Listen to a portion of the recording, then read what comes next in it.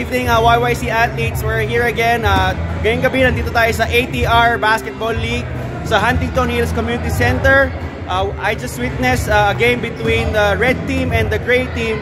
Uh, at the start of the first half, or second half, sorry, lamang ng anim ang uh, gray team, 32 to 26.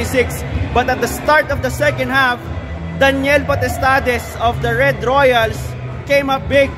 He scored 29 big points to lead the his team to a comeback victory. Our final score 68 to 59.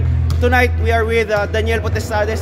Kaya Daniel, congratulations sa panalo ninyo uh, against the great team. Tulad niya ng sinabi ko kanina, lamang ng anim sa simula ng second quarter or second half. Pero pagdating ng second half, pinukpok mo ng pinukpok. Anong sabi niyo nung halftime break? Uh, nakahabol kayo? Ano lang, ah, wala push lang kami ng push para makahabol. Tsaka yung Ah, depensa. Oh, nakita nakita nga natin na pala yung fast break ninyo, di ba? Doon, nakabati. Oo. oo. From a 6 point lead, lumamang pa kayo ng hanggang sa 13. Ano masasabi mo sa effort ng, mga, ng team mo at sa effort mo din, syempre? So, ano, ah, team effort May talaga. lucky charm yan, may lucky charm buntis yung misis niya. Ah, yun lang. Ano, team effort lang talaga. Effort. Oo. At eh, again, ah, salamat Kuya Daniel sa interview na, Oh. na Yan si Bustan yan!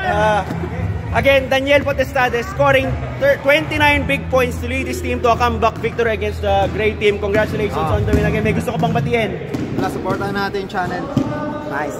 Thank you very much. This has been Zeke from YYC Athletes. Thank you.